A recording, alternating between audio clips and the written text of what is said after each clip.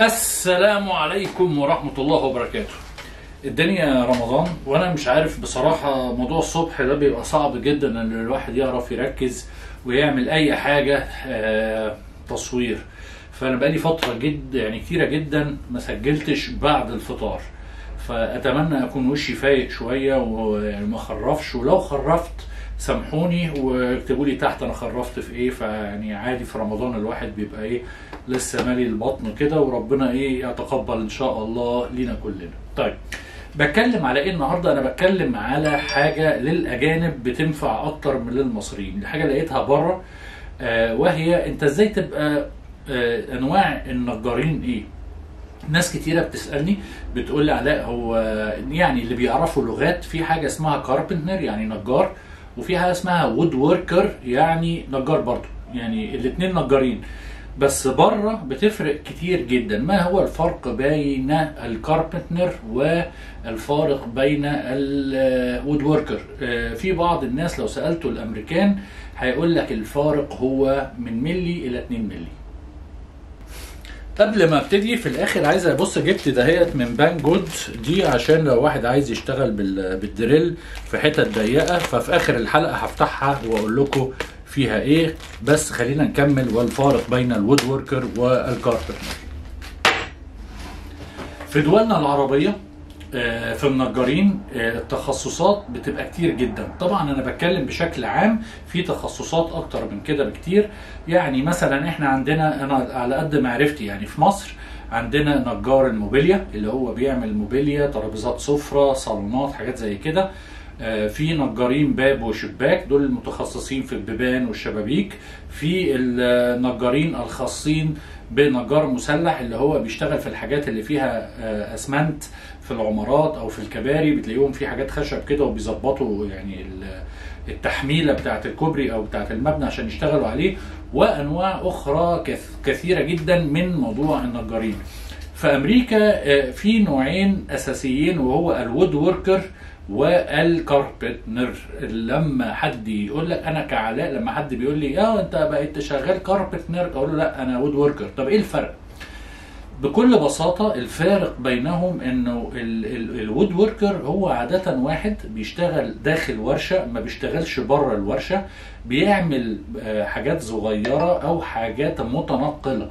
يعني أنا لو wood يعني خشب worker يعني عمل فأنا بشتغل بعمل ترابيزات بعمل صناديق خشب بعمل كراسي آه، بعمل حاجات بشتغل بيها ده وبتبقى عادة فيها آه، نوع من أنواع الدقة أكتر من ال carpenter.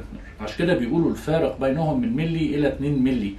آه، ال carpenter بيشتغل على حاجة تانية وهي الحاجات الكبيرة. يعني مثلا الأوضة اللي أنا قاعد فيها الخشب دي ما ينفعش ال wood worker صعب يعملها بيبقى محتاجة carpenter. لو عندك برجولة في الحديقة في الجنينة ده بيجي carpenter يعملها. لو عندك سور كبير في الجنينة أو خارجي بيبقى ال carpenter هو اللي بيعملها.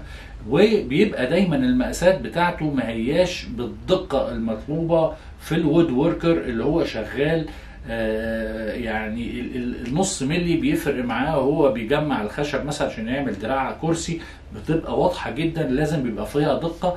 التانية بيبقى فيها قوة وسرعة لأنك بتبني حاجات كبيرة.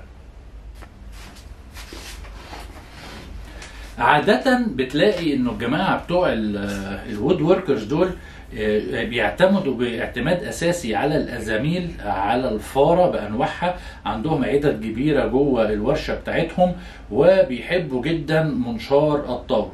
آه، الناحية الثانية اللي هو ال carpenter ده بيحب المنشار اليدوي. المنشار الصينيه اليدوي وبيحبوا منشار ال disc جدا. بيبقى معظم شغلهم كمان إن هم بياخدوا الحاجة دي مع- معاهم على موقع العمل وبيشتغلوا في موقع العمل آه، بالحاجات النجارة اللي هم عايزينها. بتشوفوهم في الأفلام بتلاقي العربية بتاعته مليانة ورا ورشة كاملة. أما ال wood worker فهو بيشتغل داخل آه، ال- ال- الورشة بتاعته بتبقى فيها معظم الحاجة ما بيحتاجش إن هو ياخدها ويطلع بيها بره بيبقى كل الشغل وبينتهي بالشغل بيوديه لحد يفنشه. في أمريكا بيفنشوا بنفسهم أما في دولنا العربية وفي مصر بالذات بيبقى في ناس متخصصة في الفينش. أنا كعلاء لما باجي أعمل حاجة فينش وبعد كده أبص على واحد متخصص بيبقى في فرق كبير جدا لأنه الناس المحترفة المتخصصة بيبقى عندهم بصراحة بيطلعوا شغل فوق الخيال. طب أنت واحد زي حالاتي كده شغال بتعمل إيه؟ شغال بتعمل هاوي. نفسك تتخصص في حاجة في النجارة. فعشان كده لما حد بيجي يقول لي علاء أنا أشتري إني عدة أبتدي إزاي؟ بيبقى لازم يعني أنت اتجاهاتك عايز تعمل إيه؟ نفسك تشتغل تعمل برجوله عندك سور في الحديقة عندك حاجات دي بتحتاج معدات مختلفة. زي منشار ال disc ومنشار اليدوي بتشتغل بره كتير. أو لو عايز تعمل كرسي صغير عايز تعمل آه، ترابيزة عايز تعمل طاولة الحاجات ده هي بتحتاج معدات تانية كتير.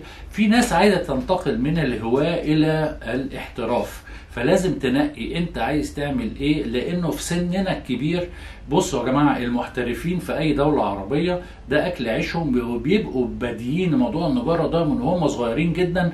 ففارق كبير جدا بين واحد محترف بيعمل نفس الحاجة بقاله عشرات السنين وواحد زي حالاتي أو زي أي واحد هاوي بيبقى هو عنده يعني آه، كم من العلم وكم من المعرفة إنه عمل الحاجة دي ألف مرة بيقدر يعملها بكذا طريقة ومتخصص في حاجة واحدة. لما أنت تحب تخش في حاجة من النجارة دايما بقول اختار حاجة تعملها علشان تكررها كتير وتقدر تبيعها ولو بعتها بكتره تقدر ساعتها تاكل عيش. أما لو أنت قررت إن أنت تشتغل هاوي نجارة هتعمل ترابيزة عمرك ما هتطلعها. لو أنت هاوي وبادي على كبر عمرك ما هتعملها اقتصاديا ومهاريا. أحسن من الراجل اللي بقاله عشرات السنين بيعملها. وأدينا الناس اللي هي بقالها عشرات السنين دي بيعانوا حاليا من الحاجة الجاهزة ومن الحاجات اللي زي إيكيا والحاجات اللي هي التعبانة دهيت. آه، ما بقاش الناس كلها عايزة السهل والسريع والرخيص. فبالتالي بيبقى صعب جدا إن أنت تحترف إلا لو بادي من بدري ورايح في ورشة وأنت عارف عايز إيه. خلينا نشوف بقى أنا حبيت أقول لكم الموضوع ده. خلينا نشوف البتاع اللي إحنا جبتها ديت من بان جود. الرابط هيبقى تحت. خلينا نشوف بتعمل إيه ونكمل حديثنا. ده حاجة أنا جايبها للدريل. علشان لما بيجي حتت ضيقة ما بعرفش أشتغلها فبعت جبتها من بان جود خلينا نشوف إيه اللي جوه هنا. عندنا واحدة عندنا اتنين و... ودي عشان الكورنر طيب خلينا نفتح كل حاجة ونشوف الكيس كان فيه إيه لأن أنا جايبها من آخر الدنيا. تخيلوا كل ده ما كانش عندي وفعلا كنت بعاني وقت ما إيه كنا بنشتغل في الحتت الضيقة.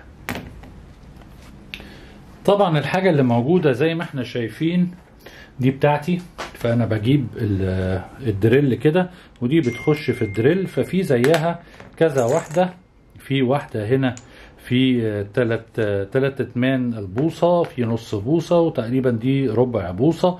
كل اللي أنا بعمله إن أنا بدخلها هنا بالشكل ده. خلاص هي دخلت.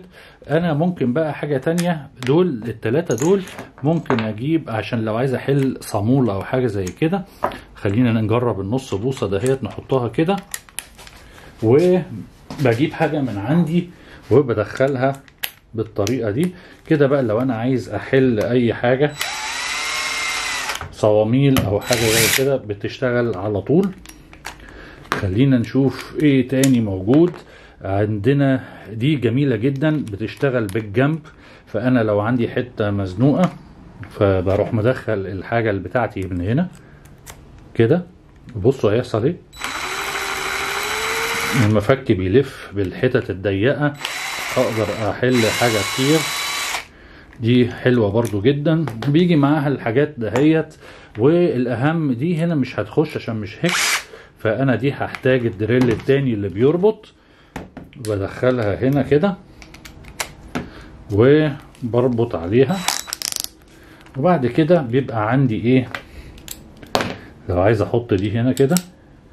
أهي.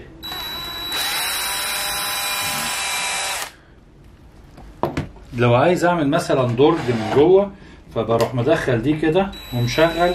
فبقدر لو عايز أربط حاجة نفس الطريقة بفتح ده وبروح أعملها كده في الضيق. وبقدر إيه أشتغلها في الأماكن الضيقة. أتمنى ما أكونش طولت عليكم في البتاعة الجميلة دي. دي أنا هستخدمها كتير إن شاء الله.